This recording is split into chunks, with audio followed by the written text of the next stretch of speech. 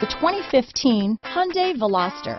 The Veloster's innovative body style and unique design make it unlike any other small car out there.